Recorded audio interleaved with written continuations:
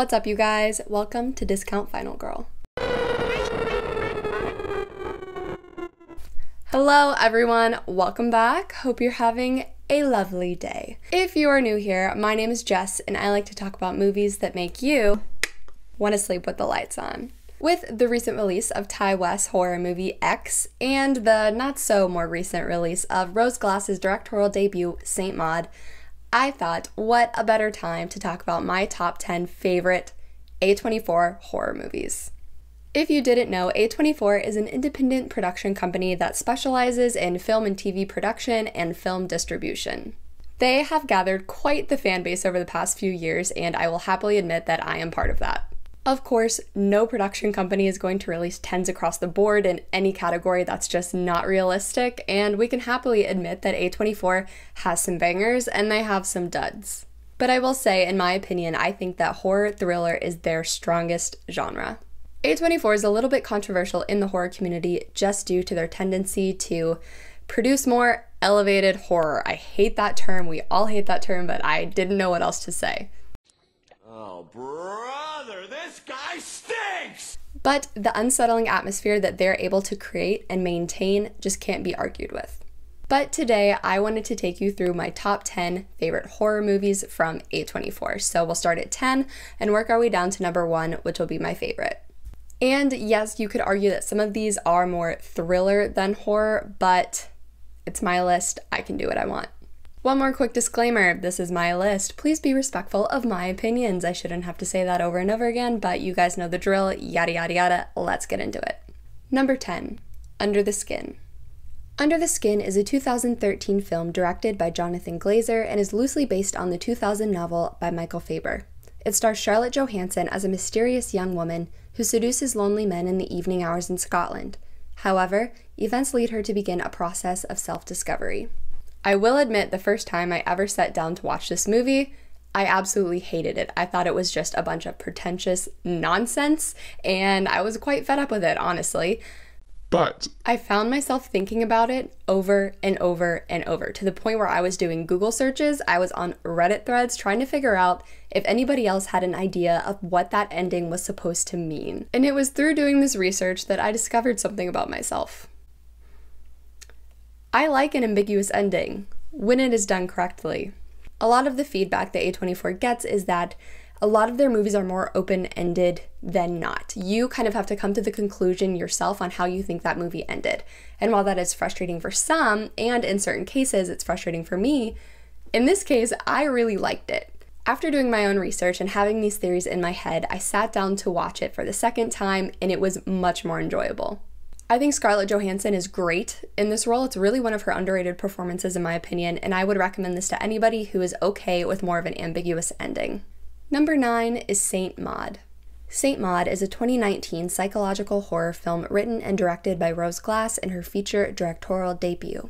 The story follows hospice nurse Maud, a recent convert to Roman Catholicism who becomes obsessed with a former dancer in her care, believing she must save her soul by any means necessary. For a directorial debut, St. Maud is incredibly impressive. It was frustrating that the hype around this movie kind of built and built and built, and then the movie was pushed back due to the pandemic. And that was frustrating. And of course, you know, it suffered from that in the end. The hype just got too real. I finally sat down and watched this movie, and of course, you know, I was a little let down. But it is a very well directed religious horror movie that examines the effect of extreme religious devotion on the mentally unstable. And that's a horrifying concept in and of itself, to be honest. Again, the acting is top notch, and Saint Maud has one of the most effective ending shots that I've seen in a movie in a really long time. Number eight is Enemy. Enemy is a 2013 psychological drama film directed by Denis Villeneuve. The film stars Jake Gyllenhaal in a dual role as two men who are physically identical but different in personality. If I tried to sit here and explain to you what this movie was about, I would fail miserably, so I apologize in advance. but I can safely say that this movie will pull the rug out from underneath you and leave you staring slack jawed at the screen, because that is exactly what happened to me. This is the movie that started my love affair for absolutely anything and everything that Denis Villeneuve has directed. I think that man is a genius. But Jake Gyllenhaal's performance is what makes this movie so effective for me. Enemy is unfortunately another movie with a more ambiguous ending, But if you watch the movie and find yourself wanting to know more, Chris Stuckman does an amazing job explaining Easter eggs and hints and talks about his theory as to what he thinks the ending means and represents. I'll link that video in the description box if you're interested to watch. I think it's really cool.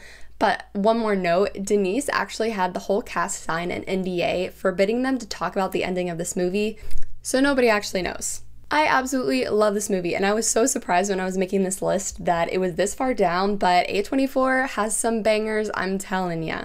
Number 7, Midsommar. Midsommar is a 2019 folk horror film written and directed by Ari Aster. The film follows a dysfunctional couple, Danny and Christian, as they travel to Sweden with a group of friends for a midsummer festival, only to find themselves in the clutches of a Scandinavian pagan cult. I know a lot of you are surprised that this is so far down on my list, but there are movies that I just enjoy more. I think that opening scene between Danny's sister and her parents is one of the more messed up things I've seen in a horror movie in a while, and the dynamic between Danny and Christian and their relationship just felt like a complete personal attack because admit it, we have all been there. I am a massive fan of Ari Aster, especially his short film The Strange Things About the Johnsons. Please be careful going into that one. In between that, Hereditary, and Midsommar, the man could teach a masterclass on how to write fucked up relationships. The visuals, of course, are absolutely stunning, and Florence Pugh does an amazing job as Danny, but it just didn't bother me in the way that I wanted it to. But of course, I still think it's a triumph, and if you haven't seen Midsommar, What are you waiting for? number six is Green Room. Green Room is a 2015 horror thriller written and directed by Jeremy Saulnier. Starring the late Anton Yelchin, the film focuses on a punk rock band who find themselves attacked by neo Nazi skinheads after witnessing a murder at a remote club in the Pacific Northwest. If you want a true blue, heart pounding, slasher, gore filled A24 movie, Green Room's the one for you. Literally called Green Room due to the director's desire to film a movie in a green room. This movie is intelligent, it's a complete attack on your senses, and it is such a fun time.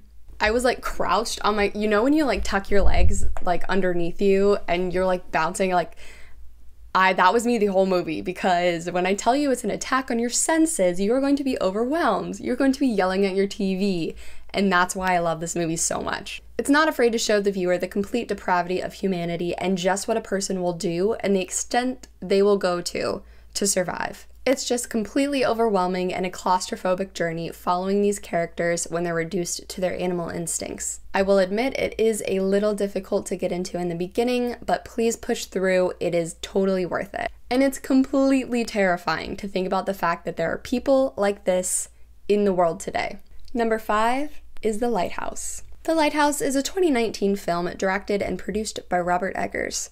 It stars William Dafoe and Robert Pattinson as two lighthouse keepers who descend into madness when a storm strands them on a remote island where they're stationed. I am an unapologetic Robert Eggers superfan. I would love to spend the day in this man's brain because to be able to come up with a concept like The Lighthouse is so interesting to me. I just can't wrap my head around how somebody would come up with this concept and then execute a movie so beautifully like Robert Eggers did.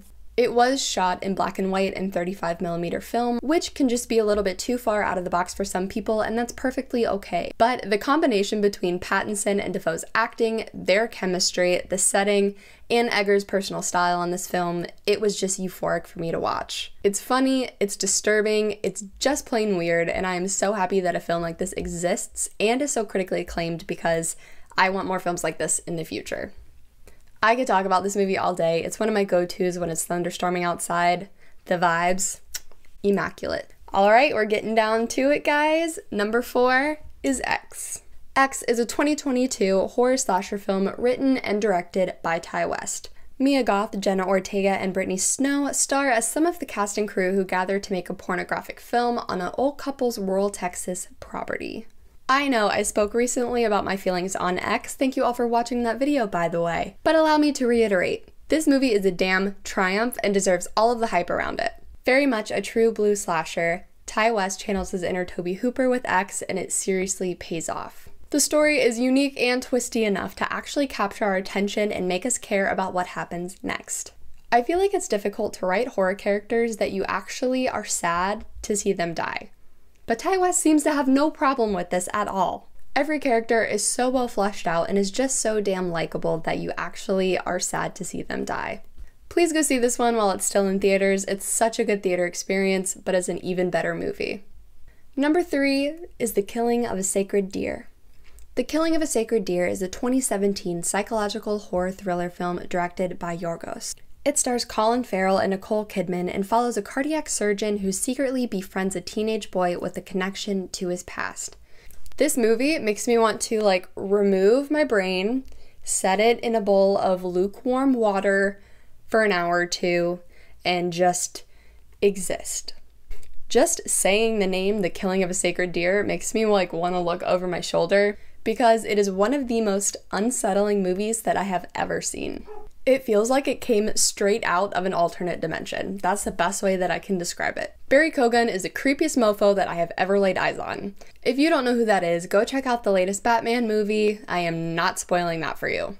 A lot of people are just not a fan, they think it's pretentious. While your opinion is valid, I will have to respectfully disagree. I don't know if I was just in the wrong frame of mind to watch this, but it left me feeling completely helpless, but in the best way.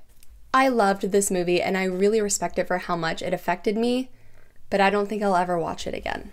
All right, you guys, we're down to the two last movies on my list, and you probably won't be surprised about what my number one is, but number two on my list is The Witch. The Witch is a 2015 period supernatural horror film written and directed by Robert Eggers in his feature directorial debut. Set in the 1630s, it stars Anya Taylor Joy and Ralph Ineson as members of a Puritan family who encounter forces of evil in the woods beyond their New England farm. Even though A24 is divisive, I think we can all agree that The Witch is no less than a modern classic. As a horror movie that utilizes more atmospheric elements than straight up scares, The Witch is just another testament to the genius of Robert Eggers. It goes without saying, but Anya Taylor Joy's performance, especially as her film debut, is just iconic. But Ralph Ineson as the patriarch is just as spellbinding. His accent and the dedication he puts to his character, especially from this time period, is just mind blowing. Due to the smaller set, The Witch really relies on these performances to carry this plotline throughout the movie, and it succeeds on all levels. The ending is immensely satisfying, and I find myself finding something to fall in love with every time I watch this. Alright, you guys, we've made it to number one, and are any of you surprised? Number one is Hereditary. Hereditary is a 2018 psychological horror film written and directed by Ari Aster in his feature directorial debut. It stars Toni Collette, Alex Wolff, and Millie Shapiro as members of a family haunted by a mysterious presence after the death of their secretive grandmother. Hereditary is one of the scariest, if not the scariest, movies that I have ever seen. I know that this is both a popular and unpopular opinion at the same time, but I can't help the way that I feel. And I think my viewing experience has a lot to do with this. I saw this late at night where me and my three other friends were the only people in the theater. And I swear to God, when the credits started rolling, we sat there, slack-jawed at the screen for two minutes, and we didn't say a word. I didn't even want to drive home after watching this movie all of our friends were like text us when you get home okay? Okay text text me when you get home. Call me when you get home. You want to talk to me like on the phone while i drive home? Let's just do that. Let's all group call group call. Of course we have Toni Collette to thank for giving one of the best performances of the decade throughout any genre. This one just does it for me guys. It has absolutely everything i'm looking for in a horror movie and it just succeeds on all levels. I am very skeptical that a movie will shock me in the way that this movie shocked me and it literally took my breath away there you have it, you guys. Those are my top 10 A24 horror films. What do you think? I would also really like to do more ranking videos. If you guys have any suggestions on like what to do next, I could do Blumhouse maybe. If you guys would like to see that, please let me know. I really love the feedback. Keep it coming. I'm learning and I'm growing and I really appreciate you guys. If you enjoyed this video, I would love it if you could give it a thumbs up. But if you really want to make my day, just click that subscribe button. Thanks again for watching, you guys. See you next time. Stay creepy.